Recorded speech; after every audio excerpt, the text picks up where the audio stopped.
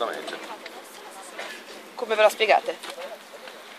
Ce la spieghiamo col fatto che chi predica la democrazia non la pratica e chi parla di intolleranza è il primo ad essere intollerante, ad avere pregiudizi nei nostri confronti. Cosa farete per i prossimi giorni, appunto, dietro questi cancelli? Faremo esattamente quello che abbiamo dichiarato, quello che c'è scritto nel programma, che tutti possono leggere sul nostro sito internet, delle conferenze, degli incontri, scambieremo due chiacchiere con gli altri movimenti nazionalisti europei e la sera ci sarà qualche piacevole eccesso. Gli ospiti sono già arrivati tutti? No, stanno arrivando ed è per questo che stiamo ritardando un po' l'apertura perché ci sono già ospiti stranieri che sono un po' in ritardo. Un imponente apparato di sicurezza è stato messo in piedi, forse il doppio delle persone tra carabinieri e polizia rispetto ai partecipanti.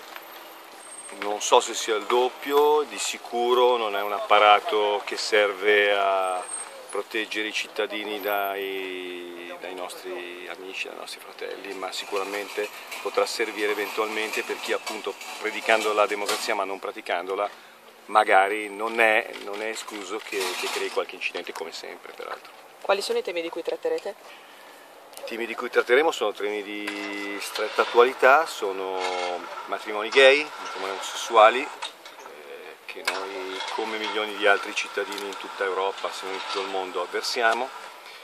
Si parlerà di guerra in Siria, una guerra scatenata in primis dagli Stati Uniti, portatori, noti portatori di democrazia con le bombe, e si parlerà di invasione, di immigrazione selvaggia, quindi non di immigrati che non sono il nostro nemico assolutamente, contro i quali non abbiamo nulla, ma contro un'immigrazione che appunto è diventata selvaggia.